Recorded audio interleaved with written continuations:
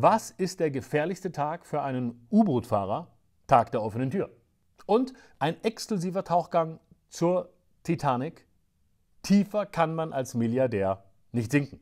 Viele meiner Stand with Ukraine Freunde in der Nachbarschaft hatten schon das Popcorn kaltgestellt und sich drauf gefreut. Heute beschäftige ich mich mit Prigoschin versus Putin. Außerdem mit der Frage, wie konnte es zum Titanic Titan Tiefseetauch äh, Tunglück äh, kommen, um noch ein T vorne dran zu setzen und natürlich die AfD und ihr Erfolg in Sonneberg.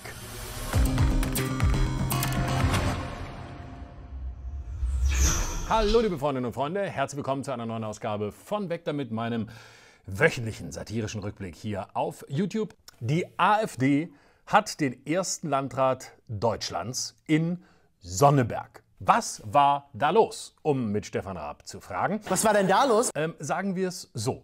Der erste Landrat Deutschlands ist ausgerechnet in Thüringen äh, von der AfD. Dort, wo die AfD als gesichert rechtsextremistische Vereinigung gilt. Das hat die Wählerinnen und Wähler aber nicht davon abgehalten, die AfD zu wählen.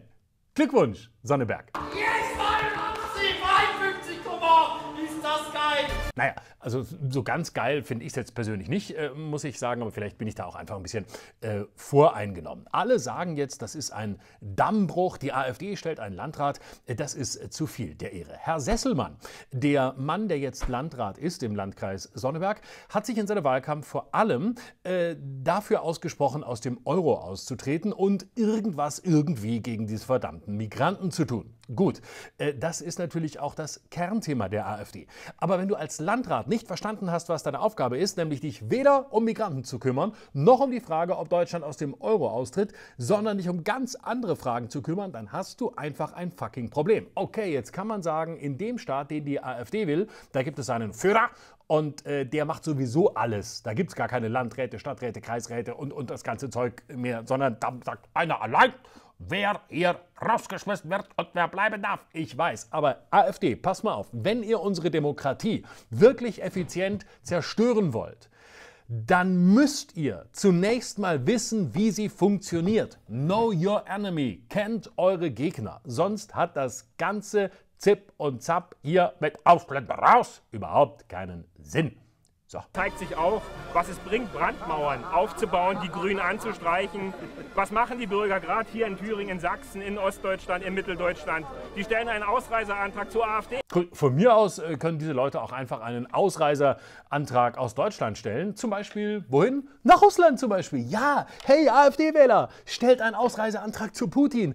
Da seht ihr, wie es läuft, wenn die Autokratie die ihr euch wünscht und so geil findet in Russland, am Ende ihrer Tage angekommen ist und langsam zerbröselt in einer riesigen Wirtschaftskrise für das ganze Land. Ist es das, was ihr wollt? Ich finde, das ist meiner Meinung nach eigentlich gar nicht verkehrt, wenn man einfach ein bisschen äh, stolz drauf ist, deutsch zu sein und äh, die deutschen Werte auch ein bisschen wahrt. Ja, zum Beispiel, äh, keine Ahnung, mutig andere Länder überfallen oder Weltkriege anzetteln oder einfach mal sechs Millionen Menschen töten. Ja, das sind unsere guten deutschen Werte, die wir endlich höher hängen sollten. Ich weiß, das war jetzt ein bisschen übertrieben. So ist die AfD gar nicht. Ich weiß, dass die AfD, nein, äh, sagen wir so, einfach das deutsche Handtuch über ein fremdes Land legen. Ne?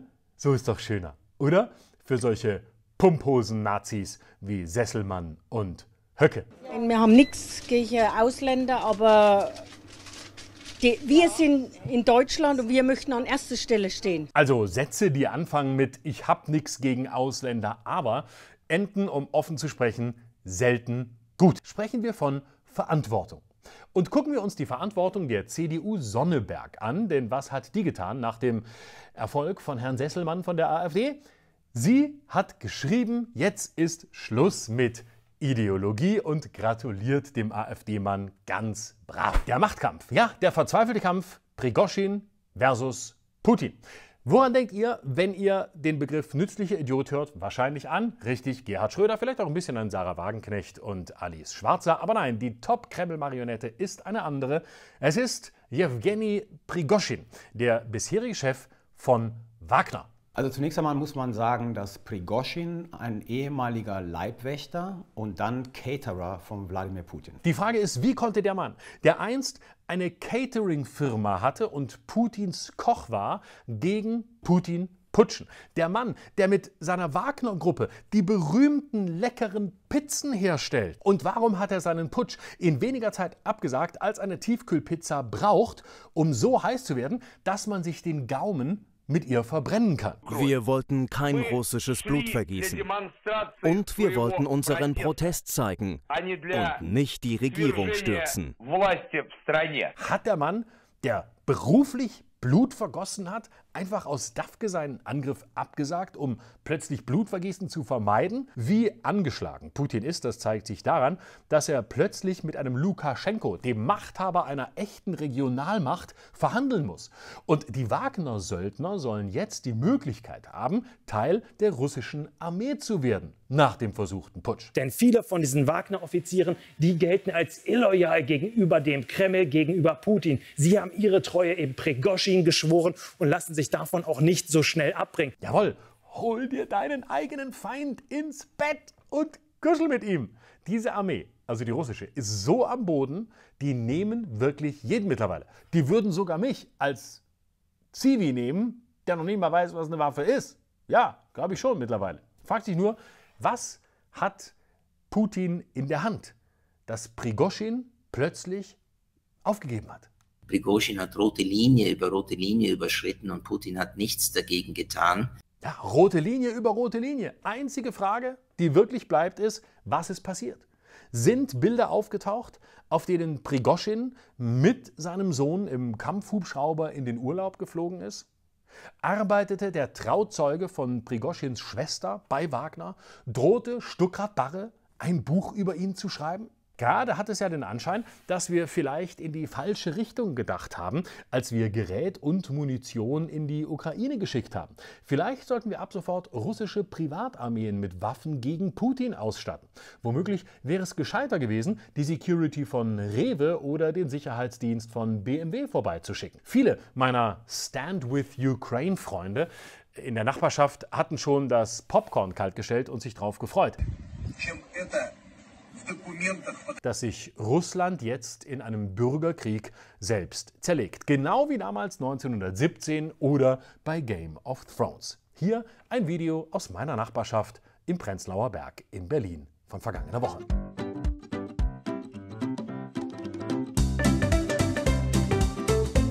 Das dramatische Ende einer Tauchfahrt zur Titanic. Gänsehautfeeling pur in den vergangenen Tagen mindestens bei mir.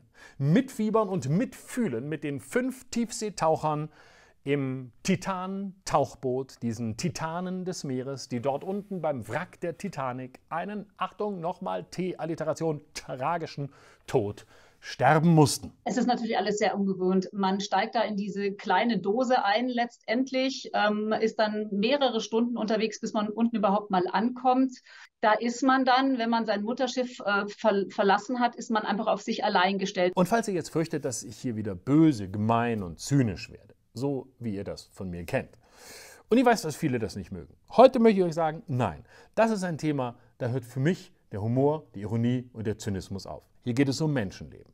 Hier ist meine Anteilnahme sympathisch, echt und authentisch. Dort unten ist eine Hilfe tatsächlich einfach nicht möglich. Es ist dramatisch genug. Darum absolut tabu sind hier Scherze wie dieser. Ein exklusiver Tauchgang zur Titanic. Tiefer kann man als Milliardär nicht sinken. Und was ist der gefährlichste Tag für einen U-Boot-Fahrer? Tag der offenen Tür. Oder noch schlimmer, schön, dass hier ein paar Superreiche mal proaktiv die Umweltbilanzen ihrer Privatjets, Yachten und Limousinen ausgeglichen haben. Das sind Scherze, die nahe an der Grenze zur Menschenverachtung sind und mir darum fremd sind. Vor allem, wenn ich diese Bilder hier sehe. Die zu finden dort jetzt ist wie ja, eine Stecknadel im Heuhaufen. Ja, auch und gerade als Grünen Wähler aus dem Prenzlauer Berg stockt mir hier das Blut.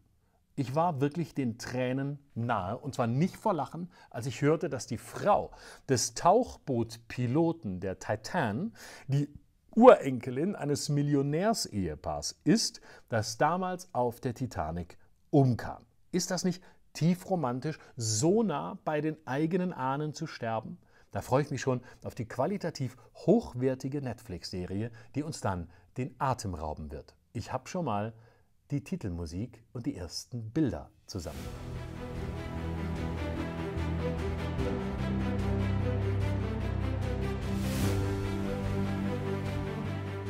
Klar, immer wieder wurde gefragt, warum sind uns hunderte Tote jede Woche auf dem Mittelmeer so egal, während wir Millionen ausgeben, um fünf auf dem Atlantik zu retten? Wie zynisch ist das denn, sage ich da nur.